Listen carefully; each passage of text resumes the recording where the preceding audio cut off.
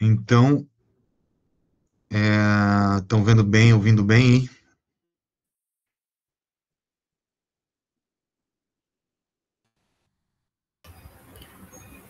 Tá tudo tranquilo, André. Então, a segunda metade aqui é o seguinte, né? É, eu vou falar um pouco sobre redução de dimensionalidade. Né?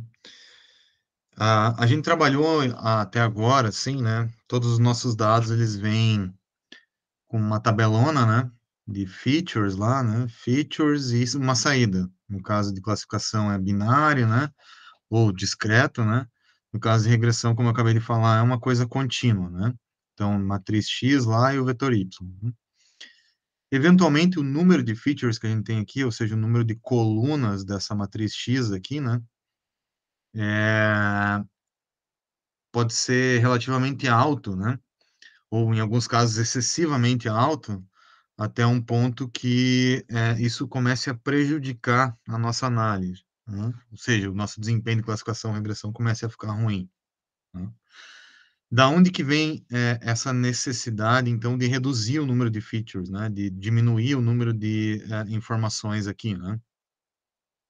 Seja por meio do que a gente chama de feature selection, eu já falei alguma coisa de feature selection para vocês antes, que era o SBS lá, o sequential uh, backward selection, o sequential forward selection lá, né? É, que seria tentar achar dessas features aqui quais que são, seriam importantes, né, para você manter, né, na, na tua classificação, para tentar compactar um pouco mais essa matriz X, né, ou, uh, eventualmente, quais uh, informações que são redundantes, então, que podem ser removidas, né. Então, esse tipo de abordagem é, é importante, ou a gente pode pensar numa abordagem do tipo uh, feature extraction, né, que eu já vou definir mais formalmente, mas é tentar transformar isso aqui para um outro espaço, onde esse espaço reduza a dimensionalidade. E aí sim, qual que é a, a, o fundamento desse negócio? Né? O fundamento vem é, de algumas frentes, eu vou explicar duas que são as que são as mais relevantes aí, talvez para a grande maioria dos métodos, né? Ah, que é a primeira parte é a quantidade de dados que você consegue capturar, né? Então, capturar aqui eu estou chamando daquilo que cai dentro de um objeto, né? Seja esse objeto de uma dimensão, de duas dimensões ou de três dimensões. Então, no caso de uma dimensão seria essa linha, né? No caso de duas dimensões, um quadrado e três, esse cubo. Né? Então, no caso unidimensional, eu estou tentando ver quanto, quanto que essa linha de comprimento L fixo aqui, né, dos, uh, sei lá, 100 dados que eu estou gerando aqui, uniformemente nesse espaço, né, é, quantos deles que caem dentro dessa linha. Então, em média, se eu rodar isso aqui, sei lá, para um experimento de Monte Carlo, alguma coisa assim, né, colocar aqui que, em média, vamos dizer assim, nessa linha de comprimento L, 42% dos dados caem aqui dentro. Né? Se eu mantiver a mesma quantidade de dados, ou seja, os mesmos 100 dados ali, né? Por um, agora, um, para um objeto de, de área é, L ao quadrado, ou seja, de lado L aqui, né? É, para essa mesma quantidade de dados e gerando essa simulação por meio de um Monte Carlo aqui, eu observaria que, em média, 14% dos dados caem dentro desse cara aqui. E se eu continuar nessa análise aqui, estender para um cubo de aresta L, né? Então, eu chegaria aqui à conclusão que 7% dos dados caem dentro dessa, dessa, desse objeto, né? Ou seja, à medida que eu aumento a dimensão, cada vez menos dados são capturados por essa estrutura. É, esse tipo de análise, né, também serve no contexto de machine learning, que, que diz o seguinte, quanto maior a dimensão, cada vez mais, se eu mantiver a quantidade de dados, ou seja, se eu mantiver o número de, de, de, linhas e aumentar o número de colunas, fica cada vez mais difícil de capturar algum tipo de informação. O que, que significa isso? Significa fornecer uma separabilidade entre classes para um problema de classificação ou fazer o fitting ali é, para um problema de regressão. Né? Fica cada vez mais difícil entender qual que é a estrutura por trás daqueles dados. Né? Então, isso é uma das motivações que leva aí a necessidade de reduzir dimensionalidade. Outra coisa é a dimensionalidade intrínseca né, da, de uma determinada distribuição. Então, por exemplo, aqui eu estou em três dimensões, ó, Nessas três, nesses três exemplos, estão em três dimensões. Mas aparentemente existe uma, ou vá lá, duas, que são muito mais importantes. Por exemplo, esses dados aqui, ó, parece que eles estão distribuídos, se eles fossem projetados num plano em duas dimensões, ou até forçando mais a barra numa reta nessa única dimensão aqui, talvez eu conseguiria capturar aquilo, o comportamento daqueles dados tão bem quanto no cenário de três dimensões. O mesmo vale para esses dados aqui nessa, nesse, nesse anel, né? Ou nessa parábola aqui, é, nessa representação. Então, talvez eu tenha dimensões demais para representar o tipo de informação que eu tô, eu tô querendo analisar. Né? Então, com essas duas frentes aqui, existe uma motivação, então, para a gente tentar trabalhar em métodos que reduzem a dimensionalidade. Eu já falei de feature selection, né? Então, deixa eu escrever esse termo aqui, que ele é importante. Feature selection significa que eu vou pegar aquela matriz lá, aplicar um mecanismo de busca para dizer quais daquelas colunas eu quero manter e quais eu quero descartar, né? Então, vou manter essa, vou descartar as demais, né? Então, para isso se usa métodos de feature selection, né? ou uma outra forma que é de redução de dimensionalidade, que é chamada feature extraction. Tá? Então, aqui no feature extraction existe uma coisa implícita a, esse tipo, a esse tipo de modelos aqui, que é a transformação dos dados. Então, eu vou pegar a minha matriz X, vou fazer uma operação, sei lá, vou multiplicá-la por uma outra matriz W aqui, vou chegar numa matriz Z, que tem o mesmo número de linhas, só que menos colunas. E isso envolve uma transformação, ou seja, aquilo que eu tinha representado nesse domínio não é mais o que eu tenho representado naquele outro domínio lá. Tá? Esse domínio aqui é uma transformação matemática a partir dos dados, e essa transformação envolve a redução de dimensionalidade. Né? Vou falar de três métodos principais aqui para isso, né, que é a PCA, mais clássico de todas, a LDA também é importante aí, né? Depois vou falar de alguns casos não lineares, principalmente da kernel PCA, Tá? E por último, vou falar rapidamente aqui de um outro método chamado T-SNE. Isso aqui não é exatamente voltado para a redução de dimensionalidade, ele está mais relacionado a uma parte de visualização, mas como ele é prático, na prática ele tem um, um apelo importante, eu vou falar um pouco sobre ele também. Tá? Então, vou começar com a PCA. Então, tenham em mente sempre que tudo que a gente vai fazer aqui envolve transformação. Então, feature extraction tem transformação.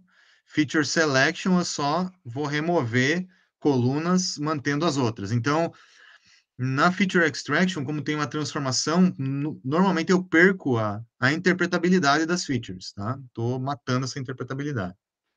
Na feature selection, como eu só removo features, eu ainda mantenho a interpretabilidade daquelas que ficam. Né? Então, PCA. O que significa PCA? PCA é a sigla para Principal Component Analysis, né? Isso aqui é uma técnica estatística bem clássica, né?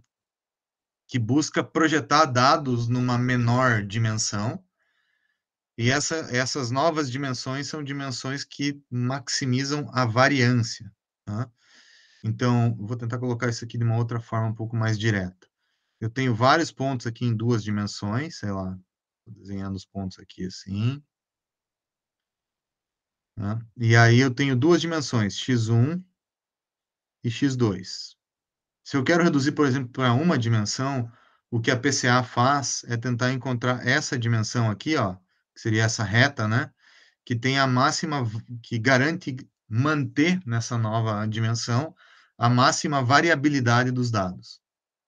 Então, vai tentar reter qual é a máxima variabilidade. Aqui nesse outro desenho, estou representando essa máxima variabilidade por esse eixo, e esses eixos de máxima variabilidade, de máxima variância, né, são as chamadas componentes principais. Então, a primeira componente de máxima variância é a componente principal 1, a próxima vai ser ortogonal a ela, porque isso aqui vai formar uma base lá do contexto de álgebra linear, né? Então, precisa, precisa ser ortogonal, né? Elas precisam ser ortogonais entre si, então essa é a segunda. E se tivesse mais, você seguiria essa, essa ideia, né? Então, elas são ortogonais, às vezes elas até são ortonormais, né, para formar uma base é, nesse novo nesse novo subespaço de projeção.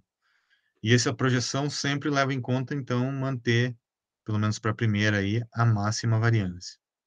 de um ponto de vista mais matemático, né, o que a gente vai construir é, a gente vai tentar aprender, né, uma matriz W. Essa matriz é uma matriz de transformação que vai pegar dados é, de uma dimensão de D linhas, é, ou seja, de D exemplos ali, né, que eu tenha. Não, perdão, D é, deixa eu ver aqui. É, dimensões, na verdade, né? Então, eu tenho dados é, em D dimensões, ou seja, D features, né? Uh, e aí eu vou reduzir isso para K features, né? Então, vou fazer uma transformação, então tem os dados aqui, com todas essas dimensões, todas essas colunas aí, né? É, aí eu vou fazer uma transformação, vou aprender qual é essa matriz W, que tem uma dimensão D por K, dimensão original, a nova dimensão. Então, essa aqui é a dimensão original dos dados, esse K é a nova. Normalmente a gente que escolhe ela, tá? E aí, quando eu aplico W em X, eu vou obter uma, um novo vetor de features com agora K dimensões, sendo que K, em geral, é menor do que D, né? Meu objetivo aqui é reduzir dimensionalidade. Tá? Então, a pergunta é, quem é W, no caso da PCA, né? Quem é o W que faz isso e que mantém a máxima variância? Tá? Essa é a pergunta da PCA. Né? Tentar formular isso aqui rapidinho para explicar para vocês de onde vem essa, essa formulação, né? É, isso pressupõe, né? A PCA pressupõe que se você manter a máxima variância, você mantém a característica dos dados nesse espaço de, de menor dimensão, né? É, a, seria a dimensão de menor variância, ela não é tão importante, né? Para manter a característica dos dados nesse novo espaço. Tá? Vou mudar um pouquinho a formulação aqui, só para é, mostrar a ideia para vocês aí, né? É, e vou fazer o seguinte, né? Eu vou supor, então, que eu tenho... É, meus dados de entrada estão aqui, são N dados de entrada, é, um, um vetor né, de x1 até xn aqui para cada, cada exemplo de entrada, né? E aí o que eu vou fazer é o seguinte, eu vou tentar encontrar quem é essa dimensão U1 aqui, que vai ser a dimensão de máxima variância, então é a minha componente principal 1, vou chamar de PC1 aqui, né? É... Então, vou tentar encontrar quem é ela, e todos os meus dados vão estar projetados nessa, nessa direção. Então, para projetar um dado aqui, eu vou usar uma maneira mais direta de fazer essa projeção, que é multiplicar um dado qualquer, xn, né? Com o produto interno de 1, 1 aqui, né? Isso aqui, então, para mim é xn. Isso aqui, então, para mim vai ser uma versão simplificada da projeção da projeção de uh, x em u, né? 1, no caso. Então, quando eu faço essa operação aqui, eu estou, né, tentando capturar aqui, ou tentando colocar aí a, a projeção de, desse X aqui nesse novo espaço. Ou seja, eu estou pegando aqui, ó, esse carinha aqui, ó, essa bolinha e projetando ela aqui. Estou pegando essa outra bolinha, estou projetando ela aqui. Como que eu faço isso? Eu faço o produto interno desse vetor com o vetor desse, desse eixo aqui. Tá? É... É, projeção teria um pouquinho mais de detalhe, mas isso é o suficiente para nós nesse momento, tá? Então, projeção de todos esses caras aqui nesse novo espaço. E a minha pergunta é, aonde que esse cara vai estar tá que mantém a máxima variância? Tá? É isso que eu quero tentar formular. Então, beleza. Então, se, a, se o meu objetivo é variância, eu vou pegar lá a fórmula da variância. Qual que é a fórmula da variância? É 1 sobre n, somatório para todos os n lá, né? De, sei lá, x n aqui, deixa eu colocar nzinho aqui, minúsculo, né?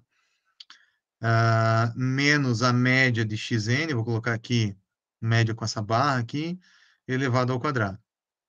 Uh, essa é a fórmula lá da variância que eu já apresentei para vocês lá, lá atrás na, nas aulas de estatística, né? O que eu quero é maximizar a variância, então vai ter que aparecer essa fórmula aqui mas é a variância do quê? A variância dos dados projetados. Então, eu preciso projetar os dados. Como que eu projeto os dados? Faço o produto interno do vetor com esse U1. Então, meu dado projetado, né, a fórmula da variância com os dados projetados está aqui, né? 1, xn, 1, x média. Isso eleva ao quadrado, divido por n aqui, então, o que eu quero é maximizar isso daqui, ó. Isso aqui é a variância dos dados projetados. Né? Então, essa é a, é a, a minha informação final ali, né? É, se eu for pegar aquela formulazinha lá da matriz de covariância, né? Isso aqui eu também mostrei em umas aulas para trás para vocês lá, uma fórmula para matriz de covariância, né? Eu posso reescrever essa formulação aqui de uma maneira mais compacta, né? Considerando que a matriz de covariância é dada por isso aqui, eu posso dizer que tudo isso aqui acaba virando o 1 transposto vezes S vezes o 1. Se eu substituir o S aqui, ó, eu obtenho exatamente essa fórmula que está aqui. Né? Então, vai ser o vetor 1, que é quem eu quero encontrar. Essa é a matriz de covariância, tá? Então, vou colocar o nome dela aqui para ficar fácil, né? Matriz de covariância, calculada dessa maneira, né? E aqui está o 1, beleza. Até você pode fazer isso aqui na mão para se convencer, né? Acho que é um exercício legal, mas vou pular essa etapa agora aqui. Então, eu escrever isso ou isso dá na mesma, e isso significa o quê? Significa, tudo, toda essa formulação aqui significa a variância dos dados projetados. Beleza. Então, o que, que eu quero? Eu quero maximizar a variância dos dados projetados. Vou escrever na forma de um problema de otimização. Então, quero maximizar a variância dos dados projetados. Está aqui. Tá? Poderia já tentar resolver isso daqui. O problema é que isso, esse problema de otimização, sem o que eu vou falar abaixo aqui, tem uma limitação, que é esse U1 ter norma infinita, né? Então, se esse cara tiver norma infinita, essa aqui é a solução para esse problema de cima. Então, para evitar essa solução, que seria a solução trivial aqui, que a gente chama, né? A gente coloca uma restrição, que é esse U1 ter norma unitária. Se ele tem norma unitária, né, o produto interno dele com ele mesmo dá 1, é legal que ele já vai é, satisfazer parcialmente lá o lance de ser uma base ortonormal, né? Então, esse aqui é o meu problema de otimização. Eu quero saber quem é o U1 que maximiza essa variância aqui. Tá? Essa, essa, essa... Resolver esse problema aí. Tá? Para isso, eu posso usar lá o esquema do Lagrangiano, né? Então, montar um Lagrangiano, colocar lá a restrição de, de igualdade como um, né, um multiplicador de Lagrange, derivar isso aqui igual a zero, se fizer essa, essa álgebra, até é legal fazer também para você se convencer, você vai ver que vai chegar nessa equação que está aqui, ó. S vezes 1 é igual a lambda 1 vezes o 1. Tá? O que, que é isso daqui? Ó? Eu tenho uma matriz vezes um vetor, que é igual a alguma coisa, né, um valor real, vezes aquele vetor se eu for olhar essa expressão aqui, essa é expressão que diz a, a expressão geral, né, para decomposição em autovalores e autovetores. Ou seja, se V for um autovetor da matriz A, quando multiplicado por A, o que acontece com esse vetor é que ele simplesmente muda a, o tamanho dele, ou né, para onde ele está apontando, né? Inverte, né?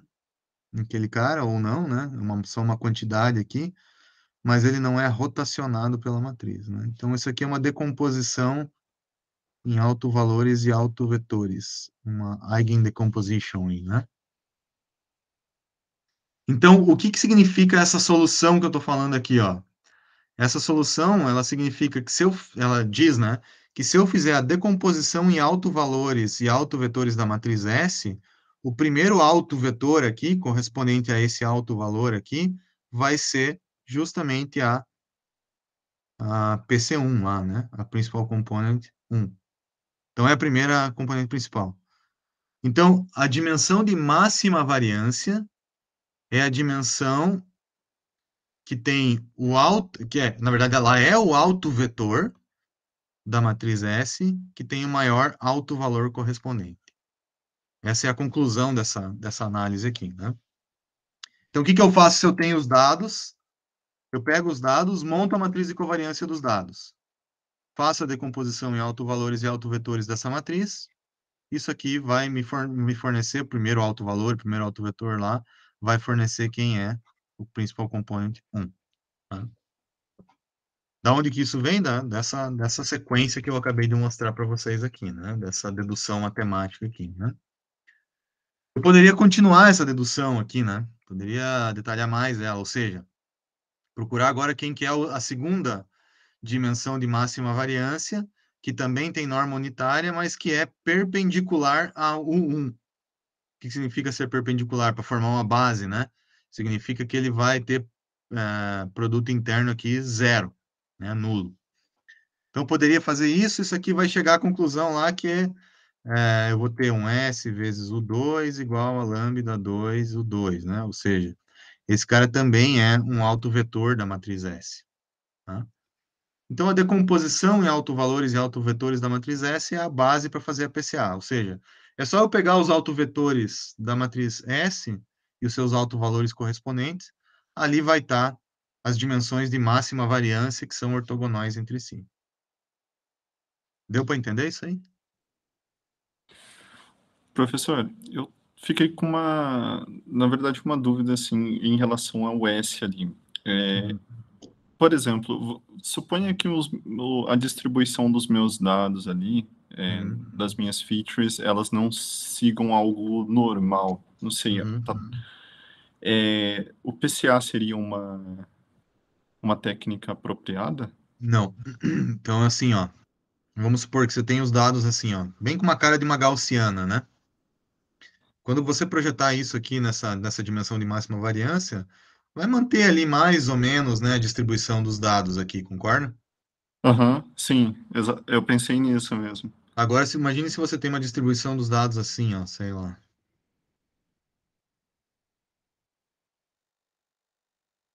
Não é nada gaussiano isso aqui, né? Estou uhum. pensando que os dados estão os dados estão assim, ó. Uhum. Ou pior, fazer uma coisa assim, ó. Um anel, né? Os dados estão aqui, ó. Tudo em volta aqui, ó. Quando você projetar na dimensão de máxima variância, vai ser essa daqui, ó. Todo mundo vai ficar embolado aqui, ó. Concorda? Aham. Uhum. Então, a resposta para a tua pergunta é essa mesmo. É, a PCA vai funcionar bem quando a tua distribuição dos dados tiver alguma coisa que tem uma cara gaussiana ou exista uma variabilidade preponderante em algumas dimensões. E assim, é, beleza. E, e, geralmente eu uso ele para fazer uma redução de dimensionalidade, né? Ou seja, uhum. é um caso que eu não que eu tenho muitas features e eu não consigo determinar a distribuição daquela parada ali. Uhum. Como que eu consigo detectar isso? De uma se, forma. Não se sei. ele é assim ou se é, ele é. Exatamente. Não, é, não tem, né? Essa resposta aí é uma. É, seria bem é disruptiva do ponto de vista científico se ela existisse, assim, sabe? É, o que se faz é que você acaba tendo que testar, né? Entendi é, testar algumas abordagens. A PCA é uma que, em geral, funciona muito bem, né? Porque, em geral, as coisas, né, tem uma certa cara gaussiana, assim, né? É, então, ela, na, na média, acaba que funciona muito bem, mas não é uma regra, né? Pra você saber mesmo só testando. Tá, obrigado, professor. Beleza. Mais alguma dúvida aí, pessoal?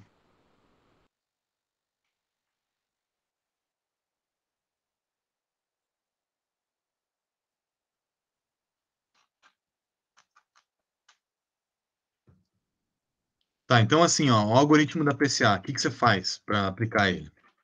É a decomposição da matriz S, tá? Então, como é que você chega lá? Primeira coisa, normalmente faz uma normalização dos dados, né? Média nula e variância unitária, né? o standard scaling lá, né?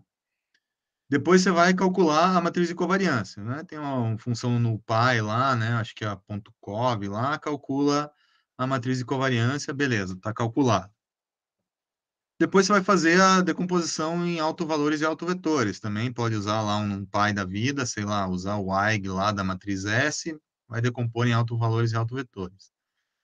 Aqui, às vezes, não se usa a decomposição desse jeito aqui, se usa a SVD, que a gente falou lá atrás, nas aulas de álgebra linear, para fazer essa decomposição. Ela é um pouco mais robusta e, enfim, fornece algumas vantagens aí do que fazer a decomposição usando o Eigen Decomposition clássico. Né? Detalhe de implementação que às vezes você vê na, na PCA. Aí fez essa decomposição, o que, que você vai fazer? Vai organizar, né? vai a, arranjar os autovalores é, em ordem decrescente ali, né?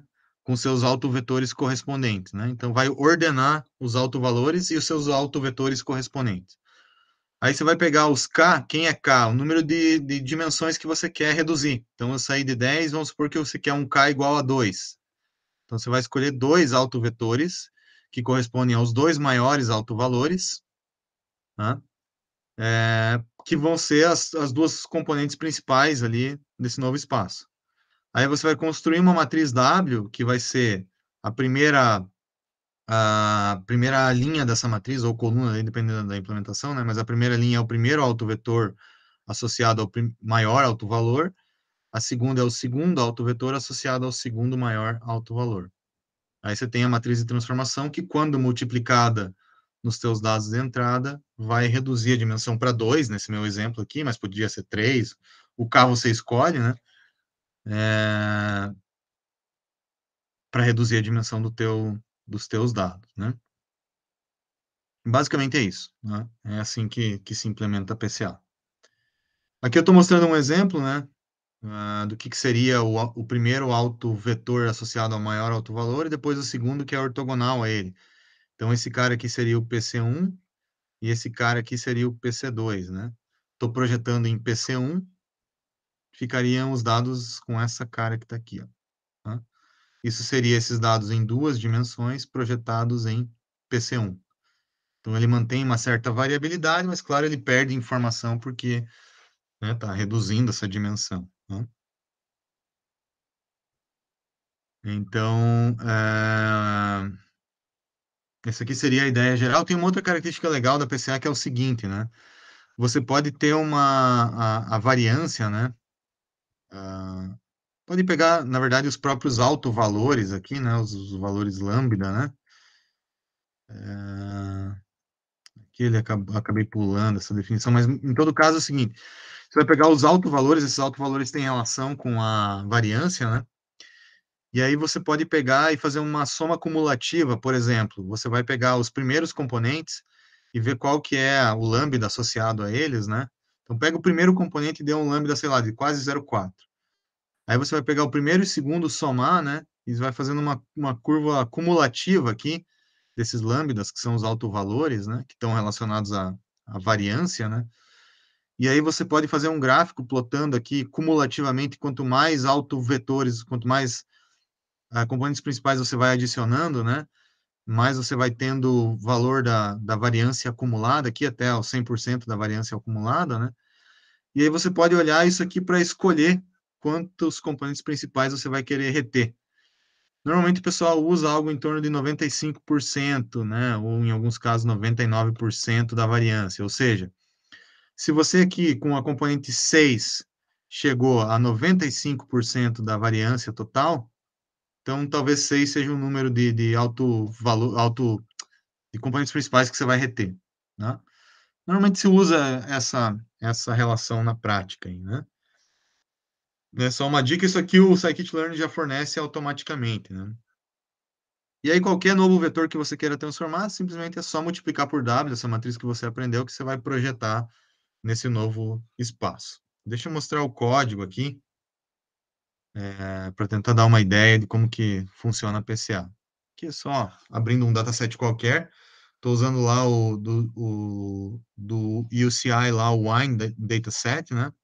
Que tem um monte de features aqui, eu já usei ele antes, tá? Fiz um split, fiz um standard scaler aqui, uma, algumas análises, tem uma PCA na mão aqui, né? Que eu faço passo a passo e tal, né? É, e depois mais para baixo aqui eu estou usando daí a, a do scikit-learn, né? E aí eu também posso usar ó, esse PCA.explained variance uh, uh, ratio aqui, né? Uh, ele fornece essa, esse gráfico aqui, né, que eu tô é, mostrando para vocês aqui dessa quantidade de, de variância que é retida, né? Aí eu posso fazer um fit.transform no treino, transform no teste e tal, plotar em, as duas dimensões da PCA, tá? É, o problema da PCA é que ela não leva em consideração o label da classe, eu já vou falar mais sobre isso, então ela é totalmente não supervisionada, né? O que complica um pouco, mas eu poderia eventualmente treinar um classificador nessa dimensionalidade reduzida, né? Veja, meu dataset original ele tinha, deixa eu ver aqui quantas features ele tinha, nem sei, mas são algumas, acho que são 12 ou 13, né? Aí eu fiz a PCA e reduzi para duas features, né? Que não tem mais relação nenhuma né, com aquelas features originais do ponto de vista de interpretação, né? Mas ainda assim eu consigo construir um classificador para separar nas três classes desse problema aqui, funciona relativamente bem tanto para o conjunto de treino quanto para o conjunto de teste, né? Tem mais algumas análises aqui que é possível fazer com a PCA, mas isso aqui eu vou, vou deixar para outro momento para falar sobre isso. Então, essa é a PCA, talvez o algoritmo mais clássico, mais usual e o mais recorrente aí em reconhecimento de padrões. Normalmente, se você quer testar algum método de redução de dimensionalidade, sempre começa com a PCA. Ela é a que fornece um resultado, na média, assim, talvez o, o melhor de todos, né? É sempre um ponto de partida, tá? Depois vocês podem dar uma olhada com mais calma no código ali para tentar inferir mais coisas sobre ela, tá?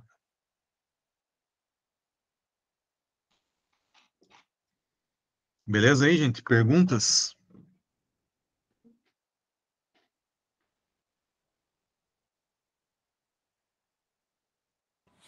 A, a explicação da, da variância ali do, é, de cada PC1 é, seria para eu escolher qual delas utilizar ou não necessariamente eu tenho seria a quantidade de, de componentes que eu tenho que utilizar? É, isso aqui é para dizer assim, quantas que você quer se você quiser manter tantos por cento da variância na tua, nos teus dados projetados. Então, se você quiser manter, por exemplo, sei lá, vamos colocar 80%, você vai precisar de 5. Se você quiser Entendi. manter, sei lá, 90 e tantos por cento, você vai precisar de quase todas, nesse exemplo aqui, né? Tá, nesse caso, nesse exemplo específico, no caso foram setadas 14 componentes, é isso? 14 porque o dataset era 14 features, né? Então, se você tiver 14 componentes principais, você vai ter 100% da variância retida. Né? Ah, né? tá. Entendi. Tá, beleza, professor. Obrigado. Beleza. Mais alguma dúvida aí, gente? Esse aqui é justamente do Wine Dataset ali, que acho que são 13, não 14, né? Ah, é verdade, 14 é lá no final, né? Uhum. Tá certo.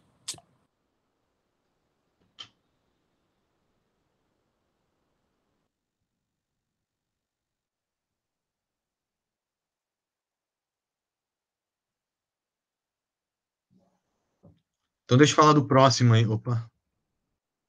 Deixa eu falar do próximo algoritmo aqui, que é a LDA. Então, a LDA é o seguinte, né? É, a PCA ela tem um problema que ela não leva em consideração que classe é, é qual na hora de projetar os dados.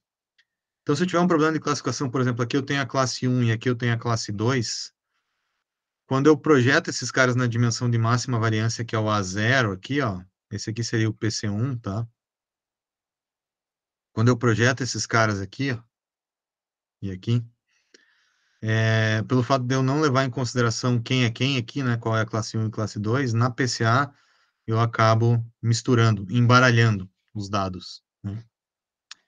É, sendo que talvez poderia ter alguma outra dimensão de projeção como essa daqui, né, cuja projeção talvez não seja a máxima variância, porém ela mantém a máxima separabilidade dos dados. Tá?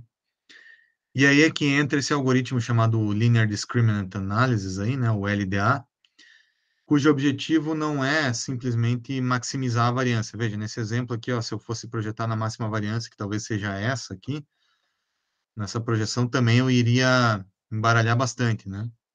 Então, esse cara aqui, ele leva em consideração, né, como primeira premissa, né, a máxima a variabilidade ou a separabilidade entre classes. Tá?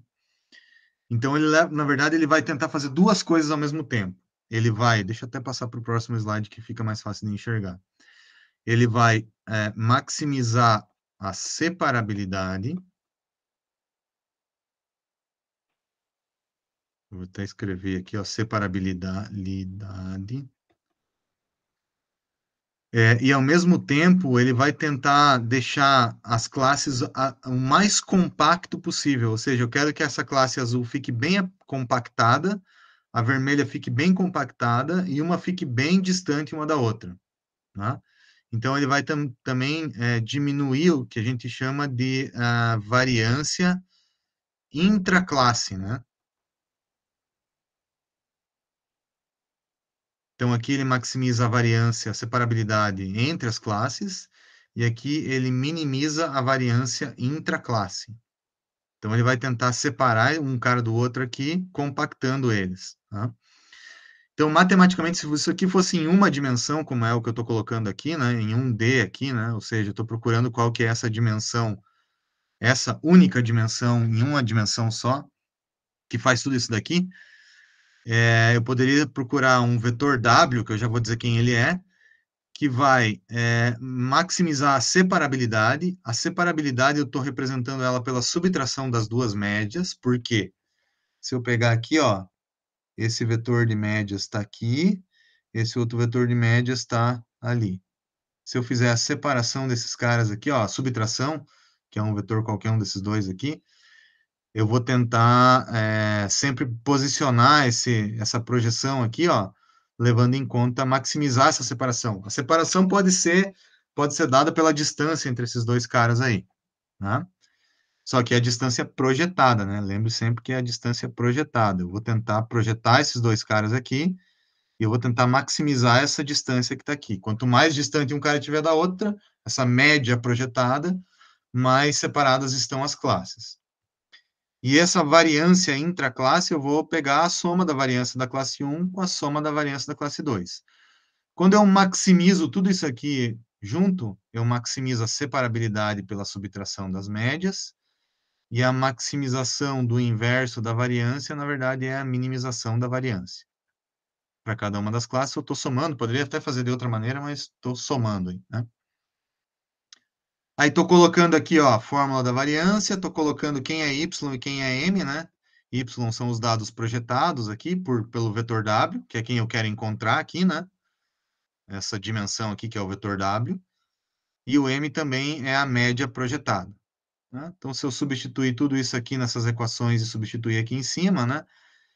É, eu vou chegar numa equação que é dada por essa equação que está aqui. E aqui eu já estou compactando algumas coisas, estou chamando uma matriz SB, que é essa matriz que está aqui, ó, e a matriz SW, que é uma outra matriz que está aqui, que é uma maneira só de compactar essa notação, né, para não ficar uma notação uh, muito grande, tá? Essa aqui vai ser uma matriz de covariância entre classes, B de between ali, né? Between, esse aqui é a variância intraclasse, tá? É uma forma de compactar toda essa notação aqui ficar um pouquinho mais reduzida aí essa, essa formulação, tá? Então, o que eu quero é maximizar esse, esse negócio que está aqui, que é equivalente ao que está colocado nessa, nessa, nessa parte, apesar de eu ter pulado, né? Se vocês quiserem, de novo, vocês podem depois, com calma, fazer a sua conferência com relação a essa dedução aí, né? Ou seja, substituir tudo que está aqui e colocar para cá, e depois ver quem é SB, SW, e ver se você consegue remontar isso. Não vou fazer. Esse é mais chatinho de fazer na mão. É, mas a conclusão é que o que eu preciso, então, é quem é o W, né? Então, eu vou fazer um arg min w. Na verdade, esse cara aqui é um argmax. Eu quero maximizar... Não, min. min a separabilidade, então é um argmax desse J que está ali. Opa. Desse J que está aqui. Então, beleza. Aquele J de W ali, né? É, que é esse cara que está aqui. Então, se você fizer isso daqui, é, derivar igualar a zero, né? Não vai ser uma solução tão fechada analítica, mas é, você vai chegar a um W, né, nessa derivada igualar a zero aqui, que é proporcional à subtração das duas médias vezes uma, essa matriz SW aqui inversa, tá? Isso aqui é legal de interpretar. Essa é a solução, tá? Da derivada disso aqui igual a zero. Isso aqui vem da derivada de J em relação a W igual a zero. Isso aqui também, se quiser fazer na mão, você consegue observar isso, tá?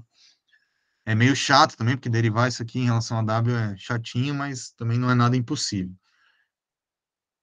O que, que é essa interpretação dessa, dessa equação que está aqui? Então, essa equação vai dizer o seguinte, o vetor W, que é esse cara que está aqui, ó, essa reta aqui, é o vetor W, esse cara aqui tem uma orientação dada por W, né? Posso até interpretar ele dessa maneira que está aqui, ó. Ou é o vetor, né? É o vetor normal aí que dá a orientação desse cara. Ele é proporcional a duas coisas, a subtração das duas médias. Então, ele vai ser a subtração é, desse, desses dois vetores aqui, né? Que é esse vetorzinho que está aqui no espaço original. Então, é a subtração desses dois caras. Só que essa subtração, ela é rotacionada por uma matriz. Quando você multiplica um vetor por uma matriz, qualquer que seja o vetor, qualquer que seja a matriz, se não for um alto vetor dessa matriz, o que acontece com esse vetor aqui é que ele rotaciona no espaço, ou seja, se ele estava aqui, ele vai passar para cá. Tá? E essa rotação dada por esse SW é justamente isso que a gente está observando aqui. Ó. Aqui estaria o vetor de médias, de subtração das médias, mas esse cara ele está rotacionado, ele, na verdade ele está aqui, ó. E essa rotação tem a ver com a variância, né, das classes. Então, se fosse só a subtração, a máxima separabilidade, ele estaria aqui. Mas como eu estou pegando a máxima separabilidade e rotacionando esse negócio para cá, ele tem a máxima separabilidade e a mínima variância entre classes. Então, essa rotacionada que ele dá aqui por essa multiplicação, ele, uh, ele acaba, então, colocando os, o, a projeção da LDA nessa, nessa direção. E aí, claro que se, se a tua PCA estivesse embaralhando os dados, certamente a LDA não estaria aqui, né? Essa que seria a, o resultado dessa análise aí, né? Deu para entender aí? Eu não estou pulando bastante dedução aí, mas tentando explicar aí, pelo menos, o que é importante, né? Eu tenho que conhecer esse, essas classes ou o próprio dado, o próprio algoritmo já faz essa diferença. Tem que conhecer. Tem que conhecer ah. porque tudo isso aqui é calculado para cada, cada classe. Todas essas médias e tal, tudo isso aqui é por classe. Então você tem que saber quem que é a classe 1 e quem que é a classe 2. Tá. Beleza.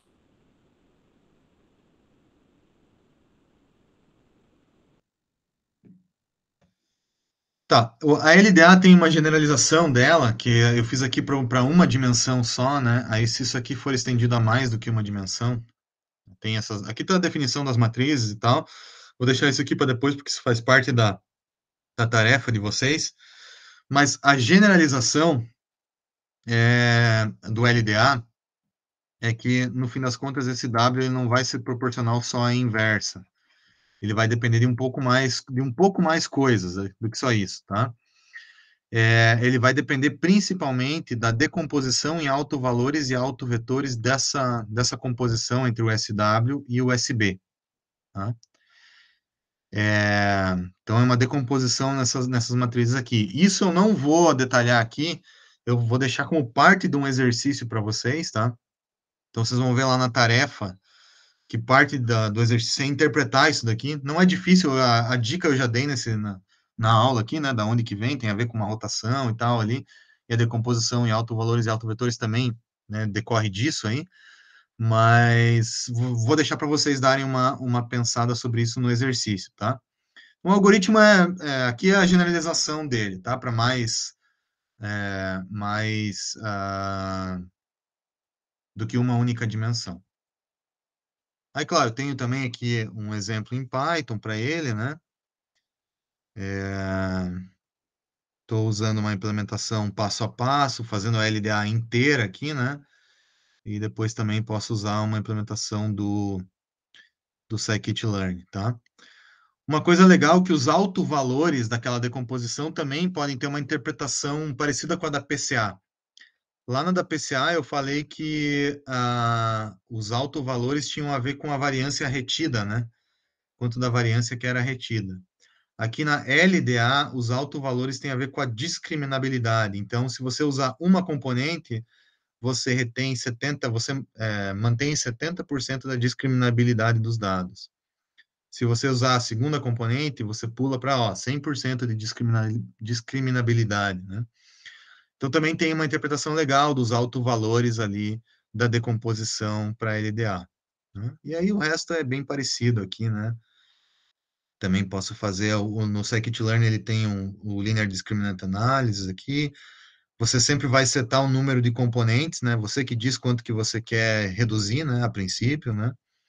Aí também estou reduzindo e aplicando uma, um classificador, igual eu fiz para PCA, inclusive ele é um pouquinho melhor que a PCA, ó. No caso da PCA, ele dá uma certa embaralhada nos dados aqui, né? Ó, um azul vai para lá e tal. No caso da LDA, pelo fato dele levar em consideração as classes, ele consegue, ó, deixar todo mundo bem separadinho, tanto no treino quanto no teste. Né? Mas não é sempre que a LDA vai ser melhor que a PCA, tá? Não é uma regra isso, né? Como eu disse antes ali, tem que testar. É, deixa eu falar então um pouquinho da, dos casos não lineares aqui, tá? Isso aqui é um pouco difícil explicar, mas eu vou tentar passar rapidinho sobre esses casos para a gente fechar o que seria aí os casos não lineares de redução de dimensionalidade. É, o não linear, eu acho que eu já, já expliquei antes ali, até na pergunta que o Neemias fez. É, se você tem uma coisa muito maluca, né? É, vamos supor que os teus dados têm essa característica aqui, assim, ó, sei lá, supor que ele esteja com essa cara aqui, né? É, eventualmente você pode não querer projetar isso aqui, opa, não querer projetar isso aqui em uma dimensão de máxima variância, que seria, sei lá, essa daqui, mas sim tentar capturar uma coisa não linear, né? Ou seja, tentar projetar os dados numa coisa como essa daqui, né? Curva, onde você mantém melhor essa, essa, é, esse comportamento dos dados nessa dimensão, né? Então, ao invés de ser uma reta, pode, pode projetar isso num espaço curvo, né? Essa projeção no espaço curvo tem um nome que se usa na literatura também, chamado manifold, tá? Então, o manifold ele tem esse, ele é tá relacionado com essa projeção aqui nesse espaço curvilíneo, né? Então, você pode fazer projeções aonde você quer tentar capturar essa essa essa distribuição não linear, tá? A maneira mais tradicional de fazer isso é usar a, a versão kernel da PCA. Tá? É, lembra que eu falei para vocês quando eu falei lá da SVM, né, que a, a SVM ela permite usar o kernel, porque a gente lá no meio tem um produto interno. Todo o algoritmo ele é escrito em termos de produto interno. Então, se o algoritmo é escrito em termos de produto interno, se eu troco o produto interno pelo kernel, né, uma operação do kernel, eu faço com que é, eu, eu imponho uma não, linearidade, não linearidade ao, ao, modelo. Então, aquilo que antes era linear pode passar a ser não linear simplesmente pelo uso do kernel, né? Que ele eleva a dimensionalidade, faz aquele mapeamento implícito lá e tal, né? É, e ele é uma coisa que dá uma certa robustez sem mexer muito no algoritmo, né? Então, existe uma maneira de fazer essa mesma, essa mesma estratégia para PCA. Tá?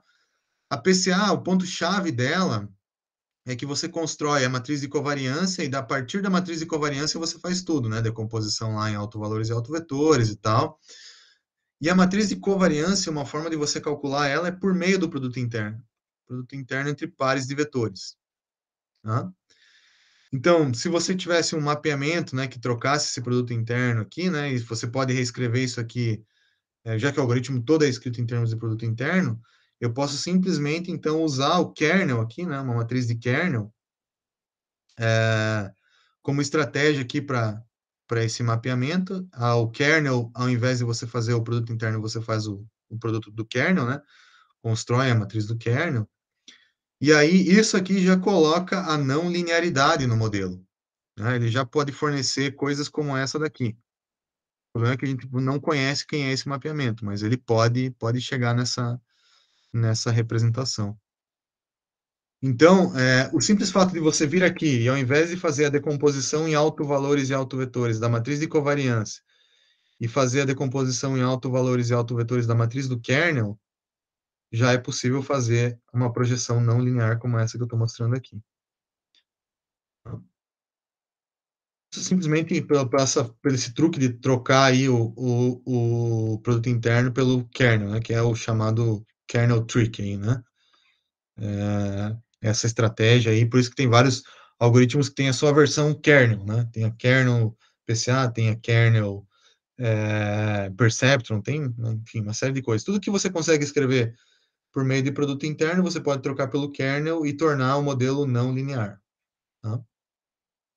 Aí o algoritmo da kernel PCA é o seguinte, você faz, constrói a matriz do kernel, usando, por exemplo, um kernel gaussiano, igual a gente já falou antes lá da SVM, é, a PCA precisa normalizar os dados, né? Aqui também precisa normalizar os dados, mas daí isso aqui é uma normalização feita já no domínio da matriz K aqui. Isso eu não estou explicando, tá? Isso aqui é meio chato de pegar essa relação, tá? Mas, de qualquer maneira, isso aqui é uma normalização. É como se estivesse deixando média nula e variância unitária, tá? Só que isso aqui daí no espaço do kernel lá, né? Aí tem que fazer essa continha aqui, normalizou, beleza, faz a decomposição em autovalores e autovetores, pega os, os K maiores autovalores relacionados aos K maiores autovetores, né? E ali vai estar a tua dimensão de projeção no espaço do kernel. Tá? Deixa eu mostrar um resultado dela, só para vocês terem ideia do que, que ela pode fazer em comparação com a PCA tradicional. Tá? É, eu tenho aqui, ó, Deixa eu ver onde é que está a minha kernel PCA aqui. Acho que eu estou sem meu exemplo aqui da kernel PCA. Deixa eu ver se eu pego. Acabei que eu acho que eu tirei fora.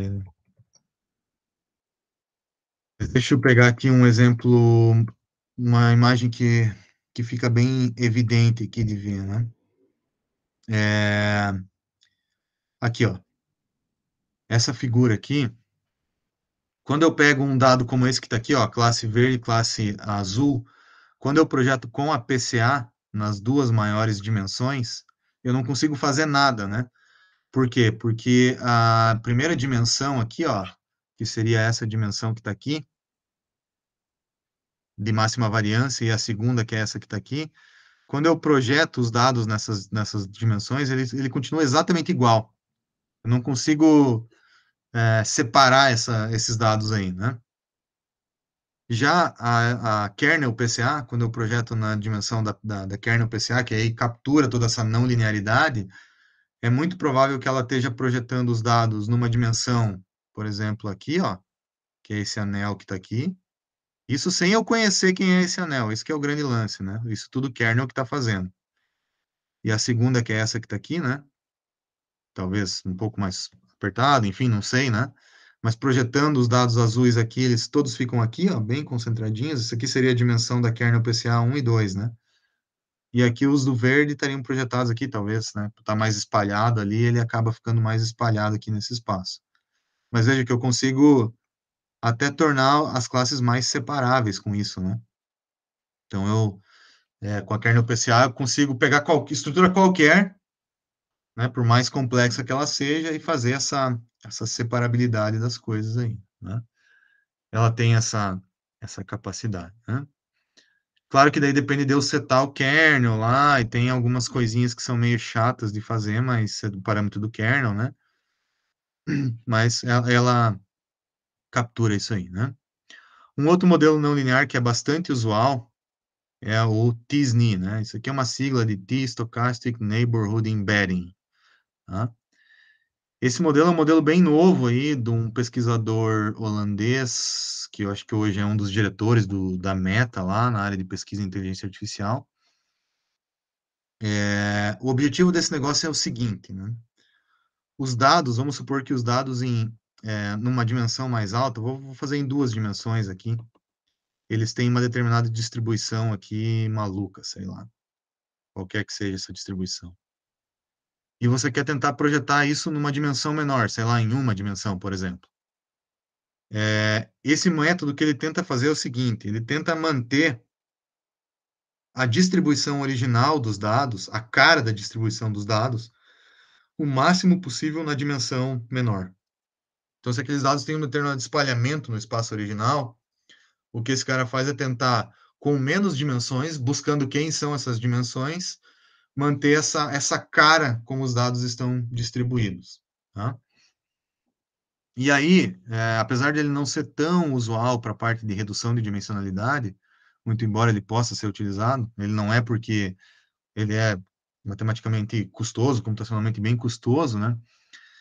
Ele é muito interessante para você visualizar. Então, vamos supor que você tenha, sei lá, 100 dimensões no teu dado original e você tenta usar ele para projetar em duas dimensões, por exemplo. Tá? Como é o, mais ou menos o que eu estou mostrando aqui.